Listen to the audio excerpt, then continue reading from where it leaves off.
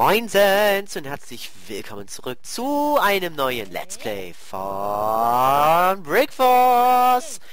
Wir befinden uns hier wieder in einem geilen Zombie-Raum und natürlich habe ich professionell wieder ein Thema für euch bereit, was mir nämlich gestern passiert ist. Und zwar wäre das folgendes, abgesehen davon, dass ich wie immer Zombie bin. Äh, ihr kennt doch alle das, also erstmal meine Frage jetzt, meine allgemeine Frage, bevor ihr jetzt hier äh, mein Video verfolgt und alles. Ich würde nämlich gerne mal wissen, ihr geht doch bestimmt alle gerne mal so in Restaurants essen, oder? Und da würde ist halt halt, ja genau, so ein Lappen.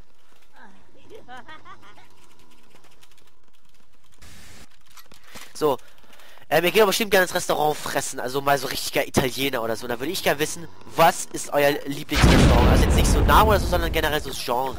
Geht ihr lieber Italiener? Geht ihr lieber Grieche? Geht ihr lieber Franzose? Ich weiß es ja nicht. Bitte lasst es mich wissen. Und da kommen wir auch gleich schon zum Thema. Und zwar, wer schon mal in griechischen Restaurants ist, oder war, der kennt ja bestimmt, dass man Usus serviert kriegt. Usus, sind solche Art kleinen Schnapsgläschen. So, jetzt kommt die Kellnerin an und ja, die kommt dann halt an und stellt halt meiner Mom irgendwie so ein Gläschen hin, meiner Sis, meinem Vater und halt zu mir. Und die beiden Gläser von mir und meiner Sis waren aber eigentlich nicht mir zugedacht, aber die sahen halt nur so aus. Und da schnüffel ich halt kurz bei meiner Mom, tue so einen richtig kräftigen weil wie wir alle wissen, Uso riecht ja. Und da habe ich aber so kräftig eingezogen, dass ich dann den anderen nicht mehr gerochen habe und dachte, ich habe Mineralwasser bekommen. Also nehme ich den Uso, wo ich dachte, das ist Mineralwasser, und habe den erstmal zur Hälfte ausgesoffen, bevor ich gemerkt habe, dass das kein Mineralwasser ist, sondern ein Uso. Boah, Leute, ich gebe euch einen Tipp, ja, wenn ihr 15 seid und so was macht, macht es nicht. Es, es ist so krass, ne? Also mein Hals hat gebrannt wie, wie sonst was. Es hat wehgetan. Aber ich muss sagen, dafür war der restliche äh, ziemlich geil beim Griechen. Ich habe mir richtig geil den Magen vollgeschlagen. Richtig geil Gyrosch, Bratkartoffeln, Salat. Und der ist anscheinend rausgeflogen. Oder auch nicht. Da, da, da, da. Okay, jetzt ist aber das Problem, jetzt ist aber mein Thema, was ich eigentlich nehmen wollte, ist jetzt schon vorbei. So, falls jetzt Zombie werde, ja, alles klar. Hab voll, auch voll geil den Jump geschafft. So, den Zombie hauen wir mal ganz kurz raus, oder auch nicht. Mal ganz kurzer Gruß an dich, Snake, du bist ein Lappen. Weil Campen ist einfach lappenhaft. Oh, guck mal, wie soll denn der Zombie da rankommen? Der ist doch chancenlos. So, mein lieber Trend, das war's mit dir. Das war es. Guck mal, wo ich bin. Glückwunsch. Oh, scheiß Moment. Glückwunschkrieger. Bist ja richtig heftig. Alter. Voll brutal. Oh, ohne Spaß. Der Lappen kann da hochkommen, wenn er auch nur ansatzweise Jump'n'Run-Skills hat.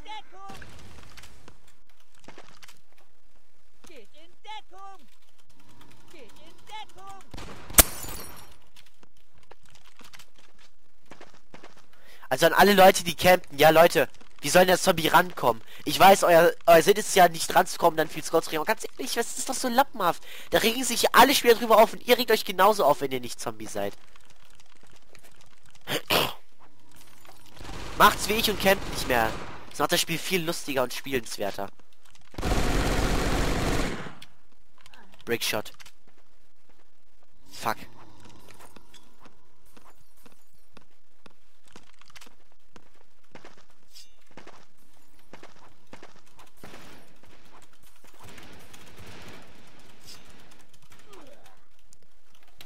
Richtig arm, mein lieber Snake. Richtig arm.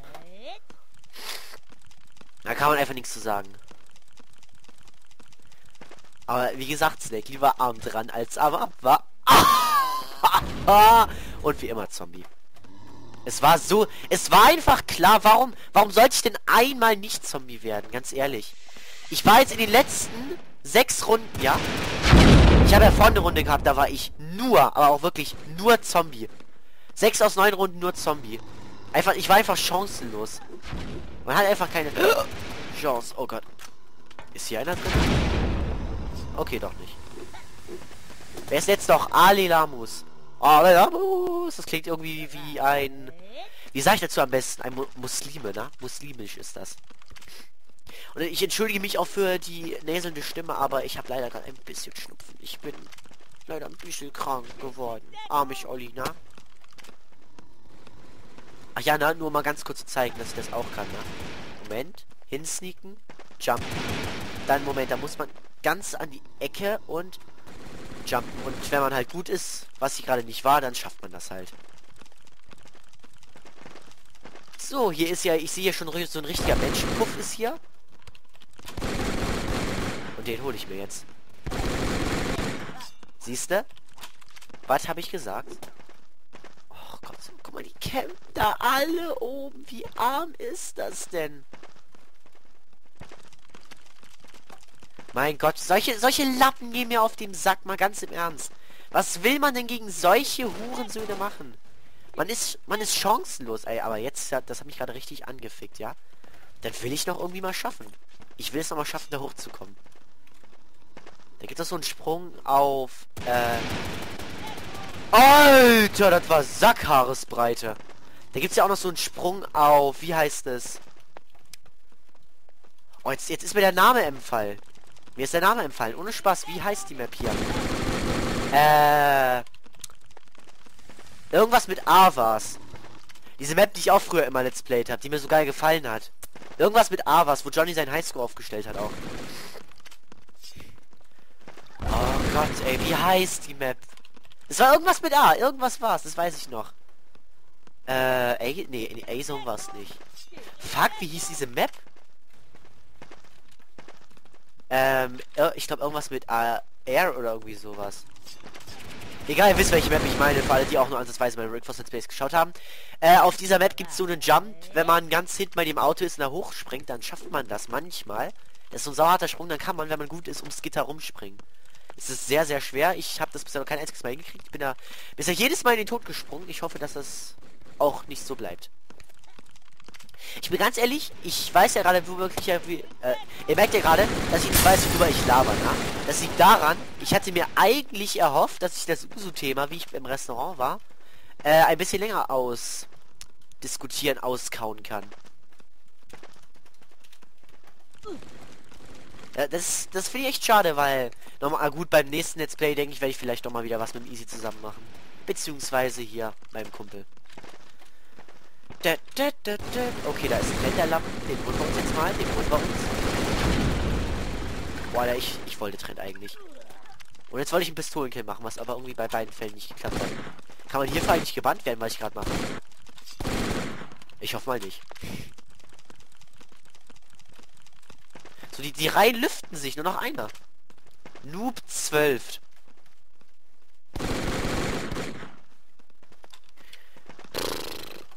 Was macht ihr morgen an Silvester?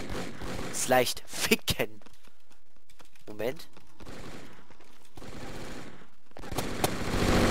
Das ist meiner. Aha, aha, eat my dick. Aha, eat my dick. Der hat so krass geschluckt, ja, Alter. Ach, tut mir leid, Leute, dass die Unterhaltung gerade echt so lahm ist. Mir fällt einfach nichts ein, worüber ich gerade... Wobei, doch, nee, doch, nee, doch. Ja, doch, stimmt, nee. Weil ich... Ach Gott. Was ich wissen will, ist, Leute, genau, was macht ihr morgen an Silvester? Erzählt mal, habt ihr Knaller gekauft? Werdet ihr die auch irgendwelchen blöden Nachbarn reinschmeißen? Erzählt mir alles, Leute. Alles, was ich wissen will. Ab in die Comments. Äh, am Silvester werden ja die meisten wahrscheinlich mit Kumpels unterwegs sein, aber ich muss leider familienmäßig zu Familienfreunden unterwegs sein, wo ich eigentlich gar nichts mehr zu tun haben will. Naja, das sind nur Mädchen, eigentlich ganz geil, aber naja, ich weiß nicht, die kann ich alle nicht leiden. Und daran liegt es nicht. Nein, ich bin eigentlich relativ beliebt bei denen. Ich glaube, die mögen mich alle. Aber ich würde am äh, Silvester wieder mit meinem... Alter! Ich würde gern wissen, äh, was macht denn ihr so, weil, wie gesagt, mit dem Kumpel ist eigentlich viel geiler am Silvester. Das hatte ich schon mal. Ey, das war voll geil. Da habe ich äh, so einen kleinen Schneemann mit meinem Kumpel gebaut. Und da haben wir uns so richtig die Labombas genommen. Haben damit den Schneemann den Kopf in die Luft gesprengt. Das werde ich auch nie vergessen. Das, das ist etwas... ich weiß noch genau, wie ich es angezündet habe. Ich weggedreht habe, guck wieder hin und der Kopf war explodiert. Es, es war einfach schön. Es war einfach schön. Oh, oh, das war ein Fehler. Das war ein Fehler. Das war ein richtiger alter Schwede. Okay, ich lebe nicht mehr. Na gut, wenn einer von hinten kommt, dann machst du echt nichts. Leute, ich habe Einladung zu KSG, XD. Ich leck mich. Ich gehe nicht hin. Oh, ich habe da voll die Idee. Das muss ich mir ganz kurz schreiben.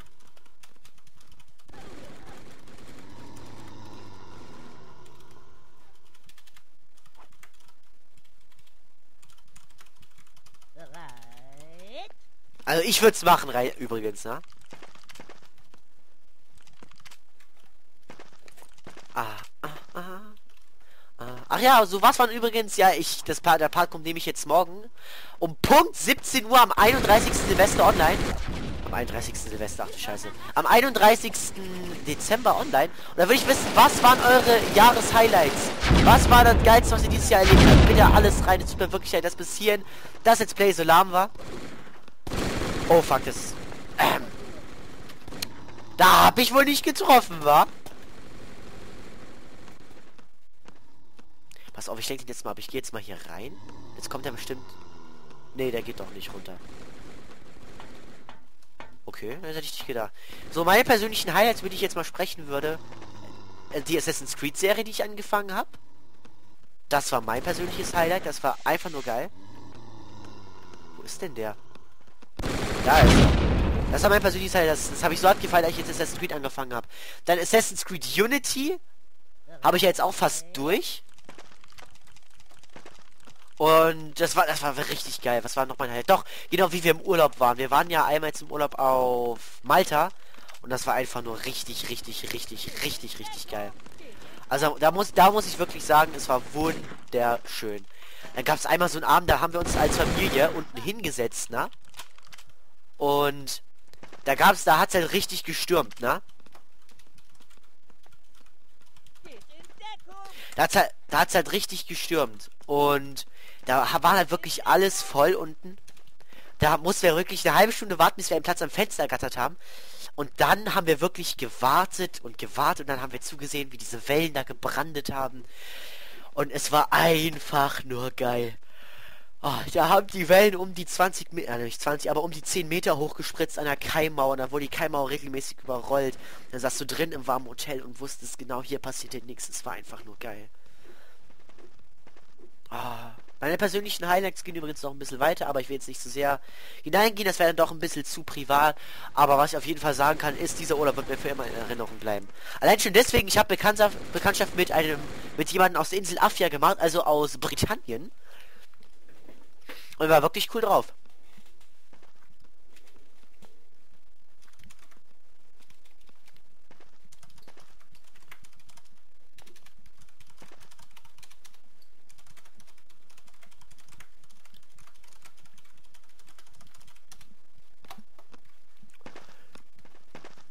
diese Lappen, die sich über alles aufregen müssen. Mein Gott, Leute, habe ich euch von hier oben den Handy gegeben? Nein, habe ich nicht.